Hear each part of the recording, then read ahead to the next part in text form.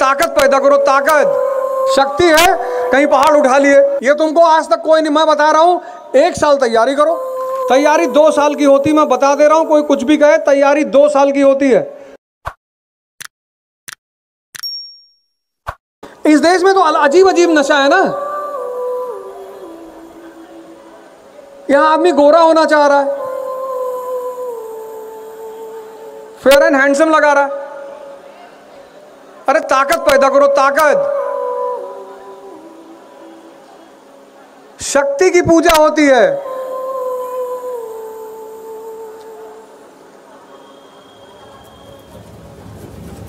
अगर गोरा होना इतनी बड़ी चीज़ होती तो भगवान अपने आप को गोरा करके ही पैदा होते। भगवान कृष्ण भी तो काले हैं।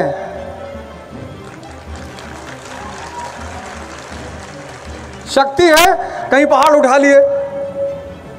पहाड़ कोई आदमी उठा ले। अभी तुम किसी के सामने बुलेट उठा लो ऐसे हाथ में। पूरा मोहल्ला तुम्हें नमस्ते करने लगे भैया नमस्ते। कंपटीशन को कंपटीशन की तरह देखो, रणनीत बनाओ, रणनीत, सीमित किताबें, सीमित। दस तारीख तक वीडियो आ जाएगी इकरा के चैनल पर यूट्यूब पर। उसमें आपको पूरा, हर सब्जेक्ट क्यों पढ़ना है और कौन से सब्जेक्ट की कौन सी किताब पढ़ना है, सब बता दिया जाएगा। तैयारी दो साल की होती, मैं बता दे रहा हूँ, कोई कुछ भी कहे, तैयारी दो साल की होती है। पहले साल सारे कॉन्सेप्ट को तैयार करना और दूसरा साल उससे भी ज़रूरी, जो दूसरे साल वाला प्रोजेक्ट नहीं करेगा, उसका सिलेक्शन नहीं होगा। सुन लो वो क्या है? प्रिपरेशन की प्रैक्टिस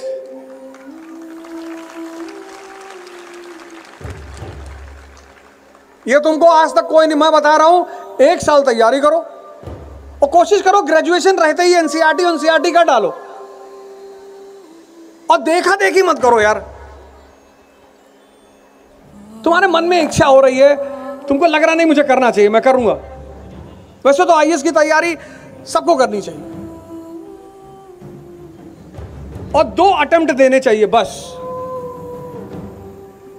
पहला अटेम्प्ट हो गया, बहुत अच्छा बहुत अच्छा वेरी गुड नहीं हुआ, दूसरा अटेम्प्ट दे दो। अगर दूसरे अटेम्प्ट में रुकते हो तो फिर कोई ना कोई काम शुरू कर दो। सिर्फ़ चार घंटे प्रैक्टिस करने की ज़रूरत रहेगी उसके बाद बस। मतलब पिछले 25 साल में मैंने इतने प्रयोग किए। कोई लड़का टीचिंग कर रहा था, कोई डॉक्टर की प्रैक्टिस करने लगा, कोई लॉयर हो गया, और सबका सिलेक्शन हुआ। दस दस साल मत बैठो। और एक बात, पच्चीस साल उम्र हो जाए ना तो पिताजी से पैसे मत लिया करो, चाहे तुम्हारा बाप अरबपति ही क्यों ना हो। कुछ भी करो, कुछ भी करो। हम तो देखते हैं लंदन में इतने अच्छे अच्छे घर के लड़के मॉल में काम करते हैं पार्ट टाइम काम करते हैं। मेरा का आई पी एस है असम कैडर का। वो बेचारा एटीएम में काम करता था। एटीएम में। हमने कहा एटीएम में नौकरी? और जब सिलेक्शन हुआ, तब उसने बताया। स्वाभिमान देखो, पहले नहीं बताया कि गुरुजी परेशान है या कुछ नहीं। जब सिलेक्शन हो गया, तब उसने बताया। हमने कहा एटीएम में काम किया? कहा, सर एटीएम में एसी चलता है, सर। तो रात भर बैठ के एसी में पढ़ते थे। यह है दिमाग। आदमी समझ की ही तो खाता है। भगवान ने बुद्धि सबको दी, मगर सद्बुद्धि बहुत कम लोगों को दी है। तो ठीक है, तुम अपना टारगेट बना लो कि साहब आई बनना है। दो साल प्रिपेयर कर लो, एक साल पूरा कॉन्सेप्ट तैयार करो। घबराने की कोई ज़रूरत नहीं। कोई कोई ज़रूरत नहीं। कभी भी तुम्हें कोई कोई दिक्कत आए, कोई परेशानी हो, ज़िंदगी मुश्किल में लगने लगे, चारों तरफ़ अंधेरा छा जाए, आकर अवध ओझा से मिलना। कोई यहाँ ज़िंदगी में और मालिक से हमेशा कहना कि प्रभु, संघर्ष ना खत्म हो प्रभु। तुम राजा भी बनना चाहते हो क्या तो भैया लड़ाई ना हो। मास्टर जी ताबीज मिलेगी और चौथा काम करना ही है। जीवन, मैंने कहा, शुरुआत में संघर्ष है। है, वो तुम्हें एहसास होगा। अभी थोड़ा सा और बड़ा हो गए तो एहसास होगा। जब तुम क्लास टेंथ में थे तो पापा, मम्मी क्या कहते थे? कि बेटा टेंथ के नंबर बहुत इंपॉर्टेंट होते हैं, बहुत। और तुम्हारी वो बरेली वाली मौसी का लड़का 98 लाया था। अब तुम मर मर के 98.4 लाए। फिर माँ बाप ने कहा कि ट्वेल्थ ट्वेल्थ आखिरी पढ़ाई है बेटा, ट्वेल्थ आखिरी। फिर तुम जूझे ट्वेल्थ में पढ़े। फिर ट्वेल्थ के बाद तुम आ गए कॉम्पिटिशन में। फिर आईआईटी क्वालिफाई कर लिए, तुमको लगा कि यार हम तो इंद्र के सिंहासन में बैठ गए। लेकिन आईआईटी सबसे ज़्यादा दहेज इस देश में सिर्फ़ आईएएस के लोगों को मिलता है। अब तुम्हारे घर वालों ने चुनौती दे दी कि देखो तुम आईआईटी क्वालिफाई कर चुके हो यार। पर आईएएस भी दे दो। अब आईएएस बन गए। आईएएस बन गए, फिर तुम्हारे बॉस फिर पोस्टिंग कभी पूछो ना ये, जितने भी ऑफिसर हैं आईएएस पीसीएस इन लोगों से पूछो, ये बेचारे कहते नहीं किसी से कुछ।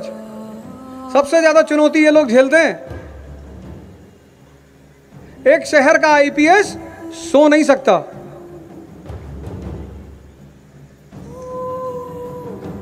पूरे शहर की ज़िम्मेदारी, सुरक्षा। अभी तो बड़ा मौज कर रहे हो तुम। कल जब आईपीएस इस जीवन में संघर्ष कभी खत्म नहीं होगा।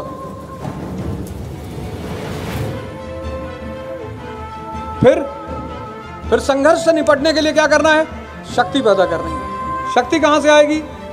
योग से, ध्यान से। आज के युवा की जो सबसे बड़ी दिक्कत है, वो बिना शक्ति के संघर्ष कर रहा है, तभी तो गुटखा खा रहा है। बादाम वाला तेल लगा रहा है, बादाम वाला शैम्पू लगा रहा है, बादाम वाला साबुन लगा रहा है, खा रहा गुटखा। डिओ लगा रहा है।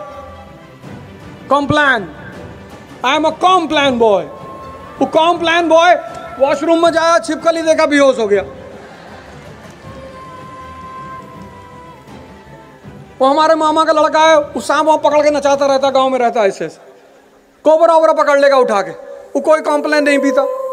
उसमें उठता है, आठ दस बासी रोटी खा लेगा, इतना चावल वावल सान के खा लेगा।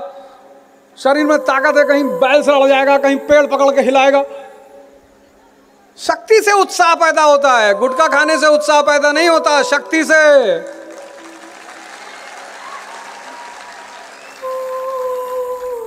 कोई खाई नहीं खा रहा है। काय खा रहा भैया? सर, ये बीवीसी है। बीवीसी बुद्धिवर्धक चूरन, सर।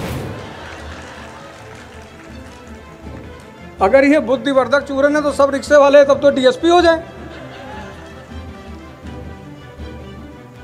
उल्टा सीधा कॉन्सेप्ट बना लियो जीवन में। इस देश की सबसे बड़ी विधा, सबसे बड़ी, और सबकी है वो। इस देश में जो कुछ है वो सबका है। इंडिया इज़ फॉर इंडियंस और जब हम इंडियंस कहते हैं तो उसमें सब हैं। हिंदू, मुसलमान, सिख, ईसाई अपर कास्ट लोअर कास्ट सबका ये देश है, सबका, बराबर का। आज़ादी की लड़ाई पढ़ोगे सबने कुर्बानी दी है। तो इस देश में जो कुछ भी है वो सबका है।